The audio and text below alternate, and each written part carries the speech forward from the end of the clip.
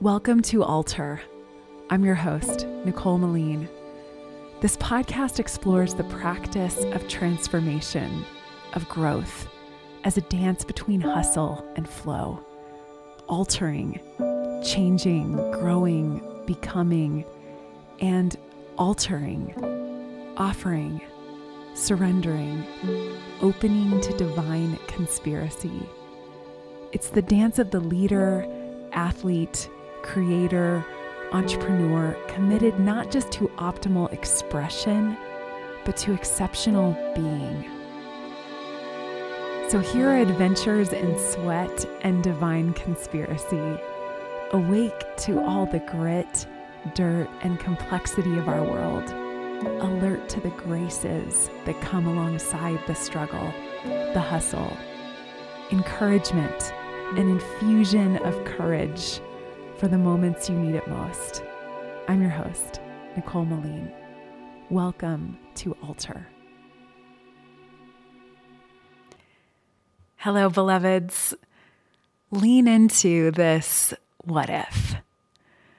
The story you're desperate to hear is the one you're meant to live into and tell. This is an invitation, a dare, Spirit whispered to my heart a few years ago, and I've been anchoring into, especially recently. I want to say it right to your heart, to any uncertain, afraid part of you. The story you're desperate to hear is the one you're meant to live into and tell. This vision of living into reminds me of a beautiful passage in the German poet Rilke's book, Letters to a Young Poet.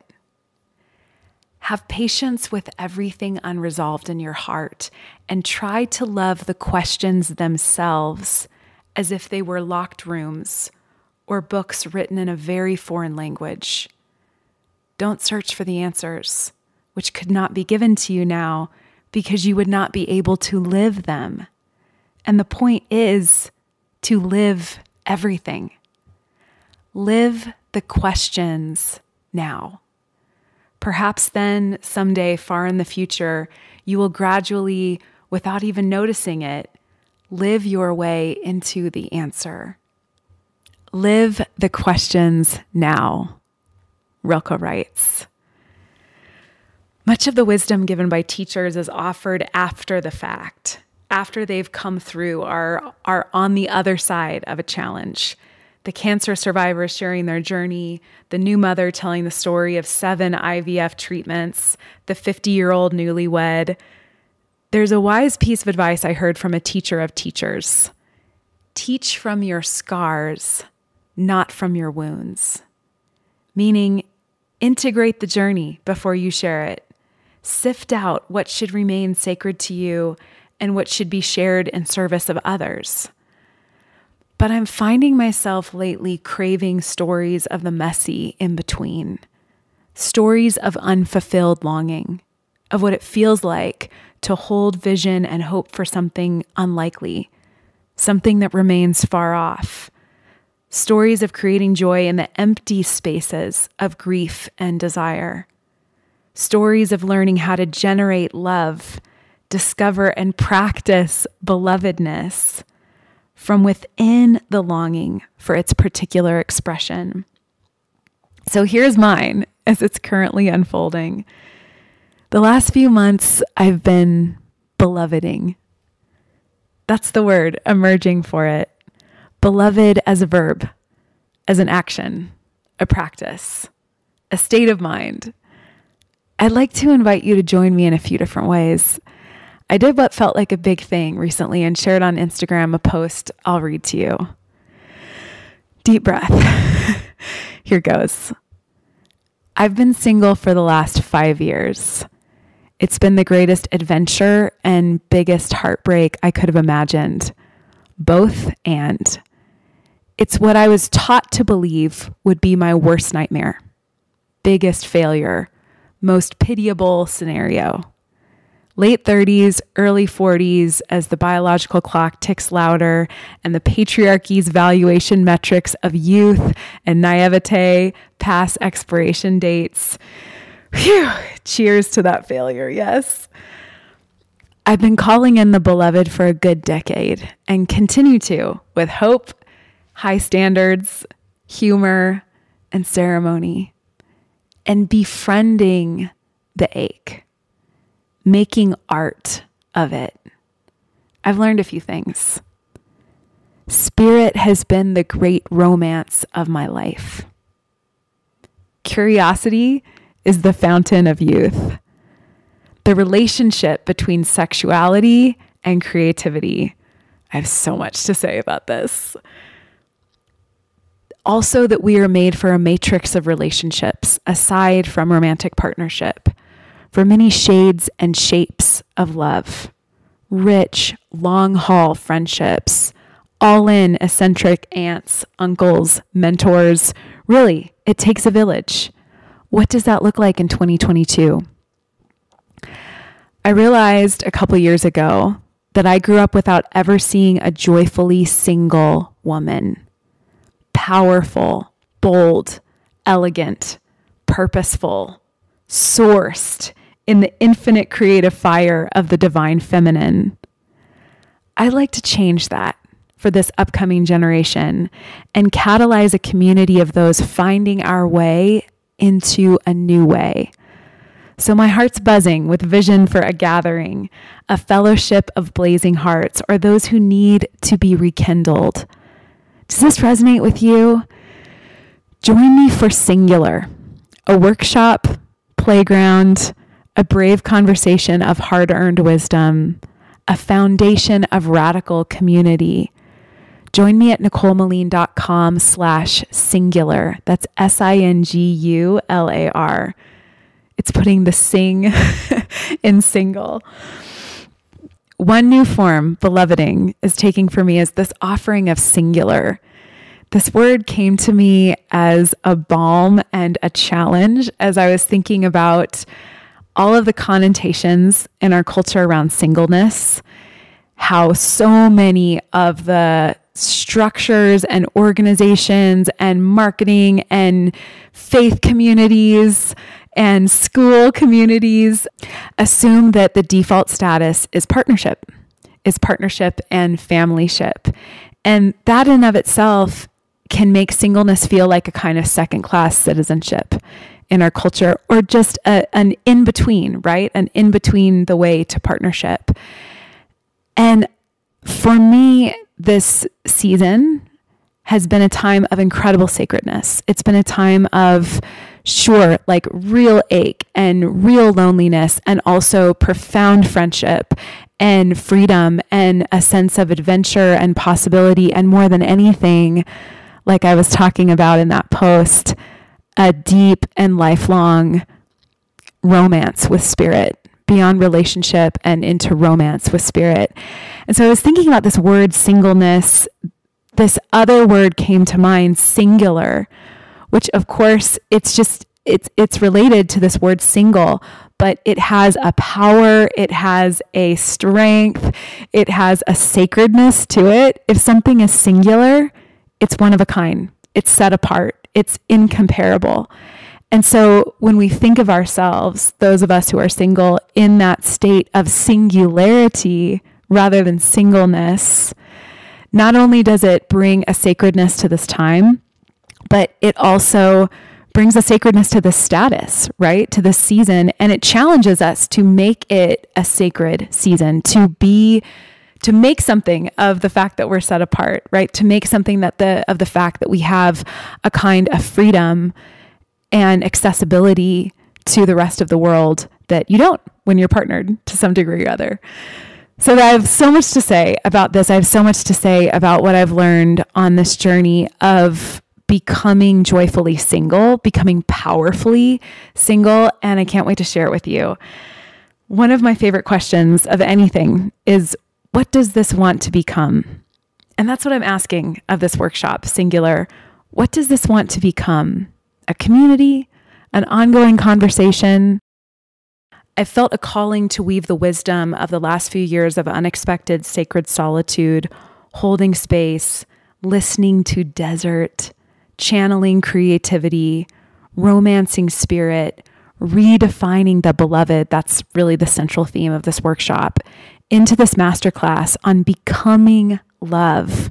Not so much falling in love or falling out of love or looking for love, but becoming love.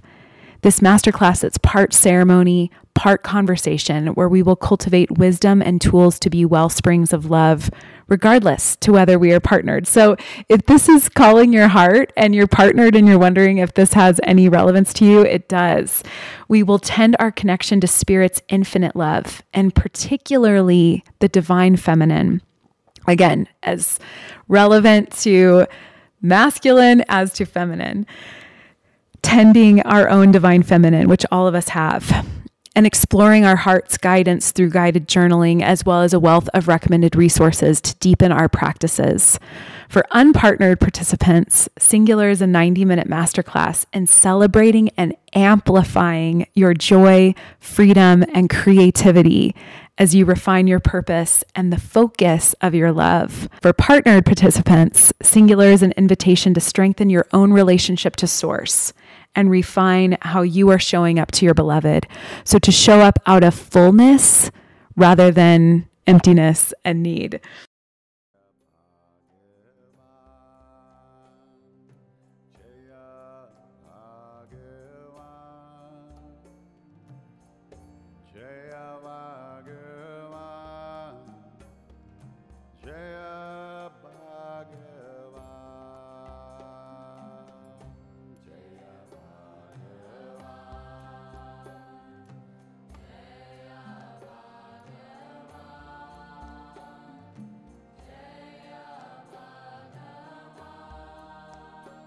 We're listening to Krishna Das's beautiful record, Pilgrim of the Heart, which I've taken a deep dive into over the last couple weeks, where he tells the story of his spiritual journey, weaving heart opening chanting and songs throughout it. And he says this line When we can love everyone, we are in love all the time.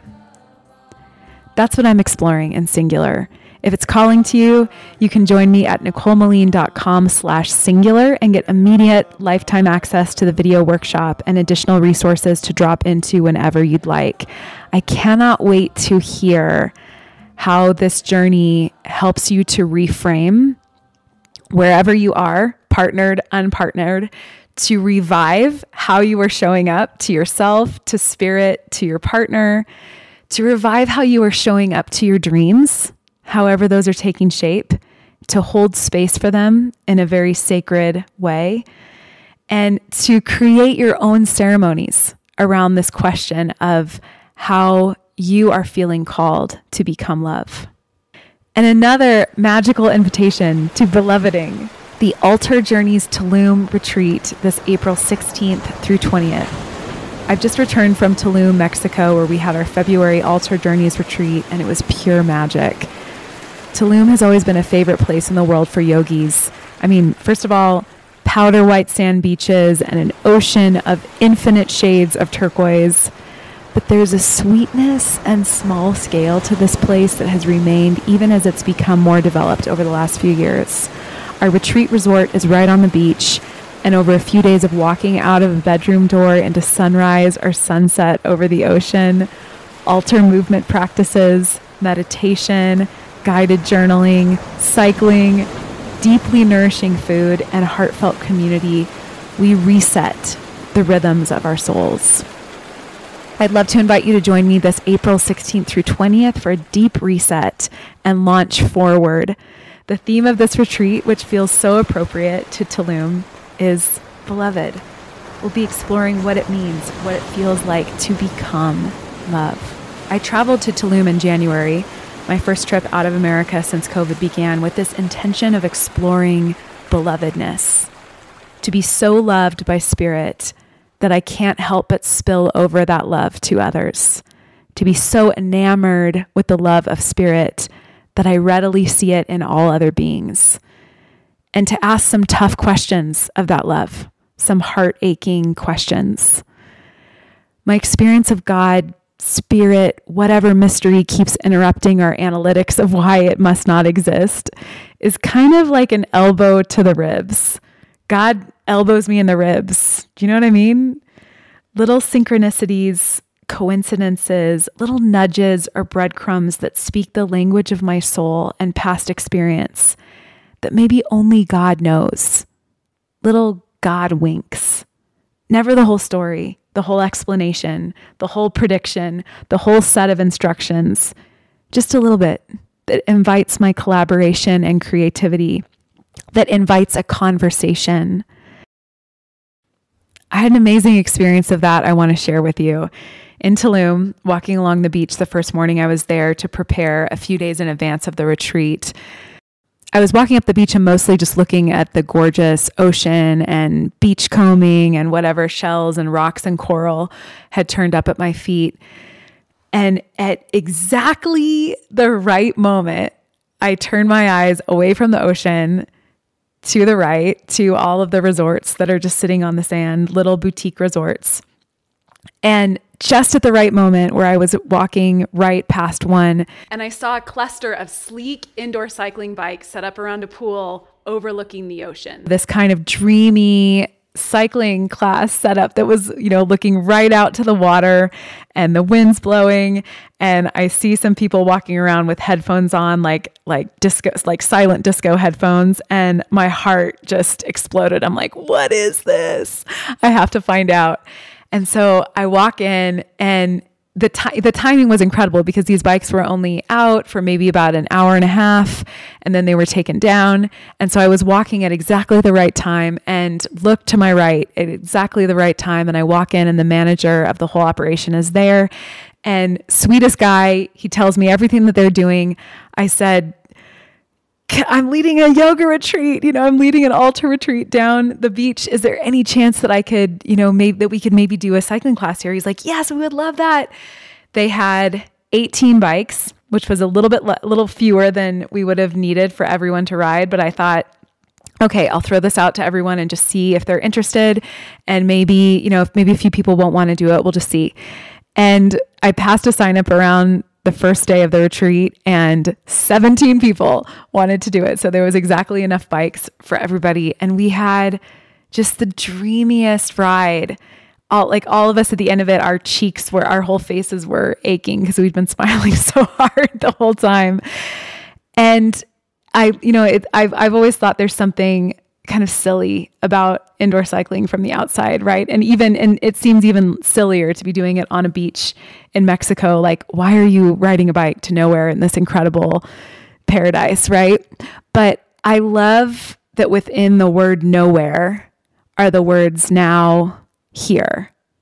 And that's what the power of the bike has always meant to me is you are clipped in you are you can completely detach yourself from all of your surroundings. You're safe. You're not going to run into anything right? You can close your eyes and just become one with the music and move in a rhythm where that your whole body is dropping to the bass beat and rising with the rising beat. And you know what i mean? You know what i mean if you've been on a bike and if you have found that instructor who takes you to places that open your heart right? And so we went there in Tulum and the whole time, I mean, I was, I think I was extra smiling because it just felt like one of those moments that God was elbowing me in the ribs and not just loving on me in a language that meant a lot to me, given my background as a Peloton founding instructor and iFit cycling instructor and Ironman and, and all that bikes have meant in my life, but was loving me in this way that I was able to spill over and share to others, right? By giving me this joy, I was able to offer it to everybody who was on that retreat. And that's what I mean. That's what I mean by by the God wink, right? By the little breadcrumb, the little portal opening into something that you love so deeply. And maybe only God knows how deeply you love this, how deeply that you couldn't have even have dreamed this up, right? Something so good that you couldn't even have dreamed it up. So, what does it mean to beloved as a verb? To be loved.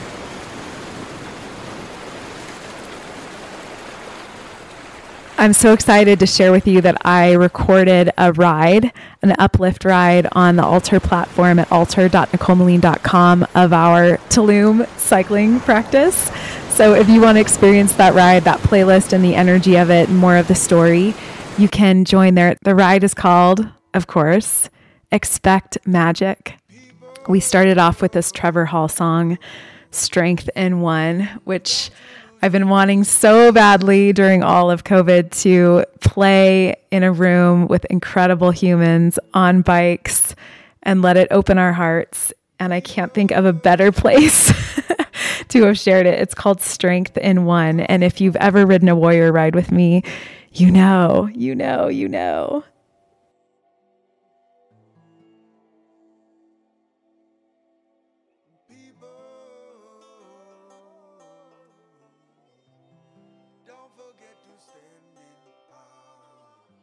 So, what does it mean to beloved as a verb? To be loved. To be loved. Be love. Become love. The way we know a beloved is that they feel like home, at once infinitely familiar and also an infinite wilderness to be discovered, wondered over. I love this Rumi poem called Meadow Sounds that gets at it especially the line, We've come into the presence of the one who was never apart from us. We've come into the presence of the one who was never apart from us.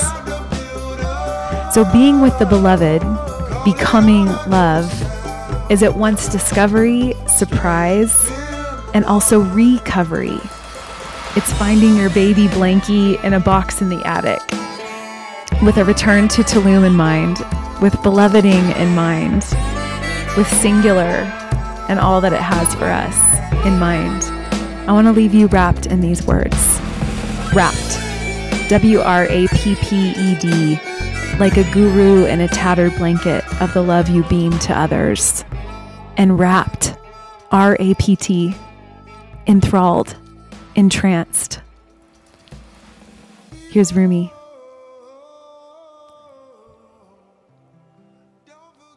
We've come again to that sea. We've come again to that knee of sea coast no ocean can reach. Tie together all human intellects, they won't stretch to here. The sky bears its neck so beautifully, but gets no kiss, only a taste. This is the food that everyone wants, wandering in the wilderness, saying, Please give us your manna and quail.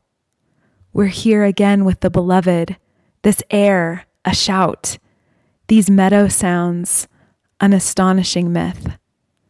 We've come into the presence of the one who was never apart from us. So, beloveds, let's beloved, let's spread this stuff today. I'd love to invite you to join me in any of these offerings that resonate with you the Singular Workshop, Tulum Retreat, or the Alter Together membership, where I'm offering new movement practices, meditations, and live interactive mentorship sessions all around a new theme each month. February's theme of devotion has been an especially creative toolkit to practice becoming love. In March, we'll be exploring intimacy bringing depth and richness to all of our relationships.